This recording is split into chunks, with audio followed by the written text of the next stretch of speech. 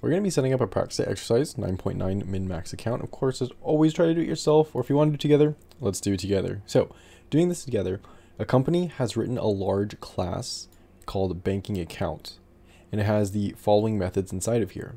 We need to design a new class called min-max account.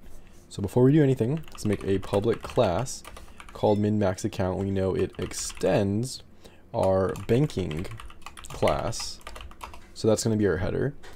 So we want to design this class and its instances can be used in place of banking account object and include new behavior of remembering the minimum and maximum balances ever recorded for the account.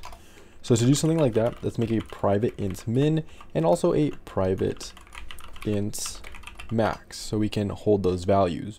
We should provide the same methods as our superclass, so we'll do that in a second, as well as the following behavior. So public int get min, let's do that first. Public int get min is just going to return the minimum value. And then we also want a public, that is just, I don't even know what that was, public int get max, where inside of here we just return the max. So these are our accessors or our getters, and those are just going to return. Now let's look at the methods inside of here. These are the methods that we're going to want to use and look at. We're also going to manipulate this one as well. Let's move our getters down a little bit. So you have those. Now let's move on to our constructor. It's going to be the first thing right here. Public banking account startup S.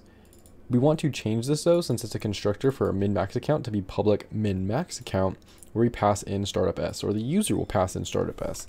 And inside of here, we're going to want to pass this to our banking class account. So since this is a super, we can just do super and then pass in S. Now we want to set our values because this is the first time it's happening. So min is going to be equal to super dot get balance.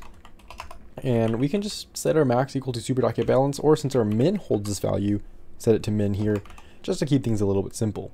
Now we have to deal with our debit and credit methods. So let's start off with our debits. I'll close that space there. We'll have a public void debit where we'll accept a D debit as parameter.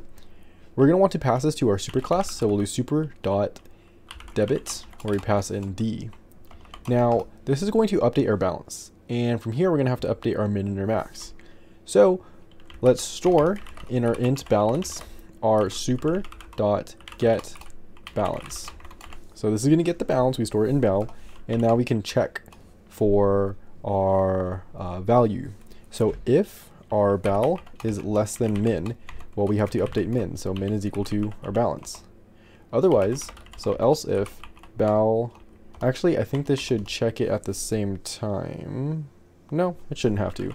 So we'll do else if, we can always fix this if we need to, but else if our bal is greater than our max, then we need a new max. So max is going to be equal to our balance. We can close this off and our credit method is going to be basically the same thing. So I'm going to copy and paste this in.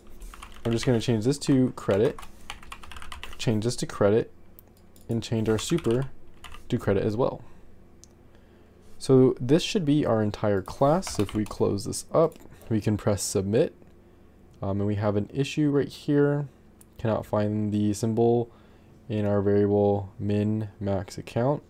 So we have public min max account extends or banking class. Maybe I didn't spell that. Oh, it should be banking account, not banking class.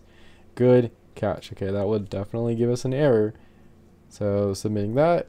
Hopefully we pass not all of our tests. So this is slightly embarrassing. I realized the whole time it was just I misspelled credit and that took me a while to figure out. So always double check your spelling. Don't be like me and that will pass you 4 out of 4 tests.